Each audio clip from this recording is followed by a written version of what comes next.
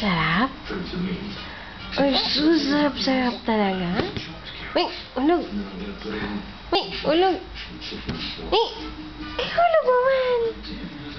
Mm.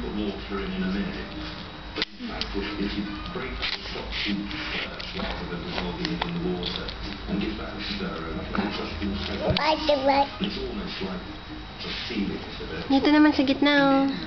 juice to give it a citrusy tang. Seasoning. Brown pepper. And then simmer. Once cooked, the soup is liquidized. Preferably in the pot tin. go. Mmm. God, it tastes delicious. Ah. Uh. it into a large bowl and put into the fridge until icy cold.